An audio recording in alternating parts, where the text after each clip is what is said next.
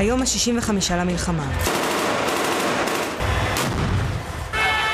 בצה"ל מזהים סדקים ראשוניים בין העזתים לחמאס. בתיעוד הזה נראים עשרות עזתים בוזזים משאית סיוע הומניטרי באזור רפיח בדרום הרצועה.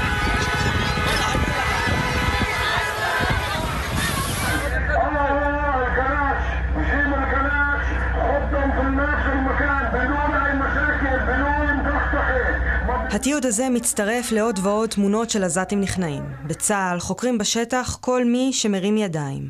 רוב הנכנעים שוחררו לאחר שנמצא שאינם מחבלים או סיינים של חמאס. בימים האחרונים עשרות מחבלי חמאס נכנעים בפני כוחותינו. הם מניחים את נשקם, הם מוסרים את עצמם לידי לוחמינו הגיבורים. זה ייקח עוד זמן, המלחמה בעיצומה, אבל זה תחילת הסוף של חמאס. ואני אומר למחבלי חמאס, זה נגמר. אל תמותו בשביל סינואר. תיכנעו. עכשיו. הקרבות הקשים נמשכים לאורך הרצועה. משנה מהסיס, תעלה בעבור.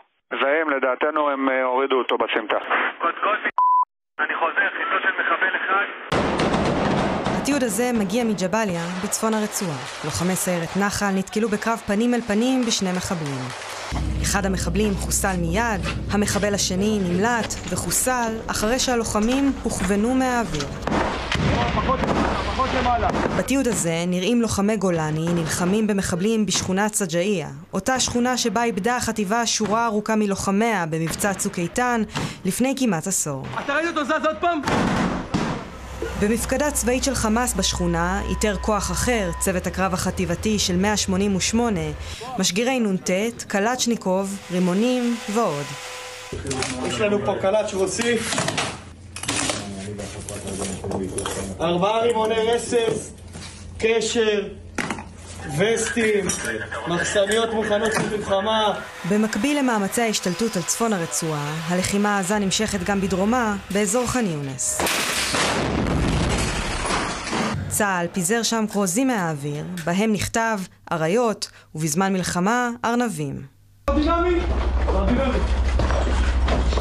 לוחמי גדוד 12, גם כן של גולני, חיסלו חוליית מחבלים במסגד בח'אן יונס. בהמשך, מטוס קרב השמיד את המסגד ואת המנהרות שתחתיו. ביממה האחרונה תקף חיל האוויר 250 מטרות טרור ברצועה. מאז חידוש הלחימה, אחרי קריסת הפסקת האש, תקף צה"ל למעלה מ-3,500 מטרות, ומתחילת המלחמה הותקפו יותר מ-22 אלף יעדי טרור.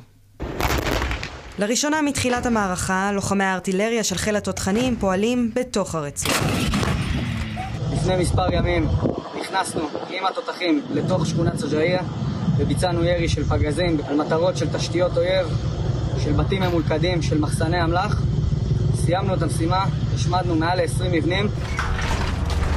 בצה"ל מעריכים היום כי שנת 2024 כולה תהיה שנת לחימה, אך שלב התמרון האגרסיבי שבו אנחנו נמצאים כעת, יסתיים בחודשים הקרובים.